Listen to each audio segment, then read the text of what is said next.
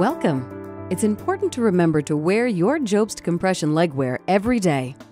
Wearing your Jobst compression legwear will deliver the medical therapy your physician recommends. The following tips will help you put on your legwear easily. Feet and legs should be completely dry. Remove rings and jewelry that might snag your hosiery.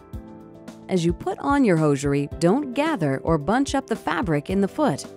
In a compression garment, this bunching up is like putting 100 rubber bands together. It's difficult to slip your foot through the narrow opening. If you prefer, you can use gloves to help create friction and provide a better grip. Use a moisturizing cream after you take off your Jobst hosiery to keep skin moisturized and healthy. Donning Heel Pocket Out Method the best way to put on your compression stocking is to sit with your legs in a natural position.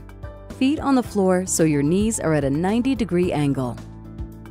If you prefer, you can use your rubber gloves when you put on and remove your compression stockings. They can help protect the hosiery from nails or dry skin. Find a sturdy chair and let's get started.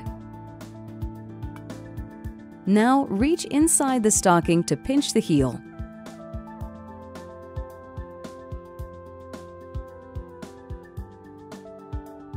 While holding onto the heel, turn the fabric of the stocking inside out.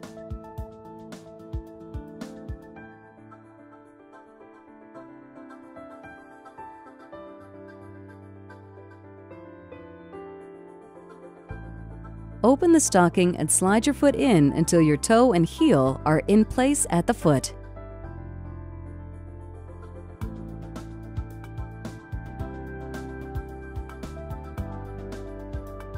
Once the heel is in place, grasp the fabric below the band and pull it up over your heel and ankle. Now you can go ahead and adjust your stocking. The gloves can help you do this, or you can just use your hands to gently pull upwards. Smooth the hosiery starting at your lower leg and working your way up until any folds are smoothed away.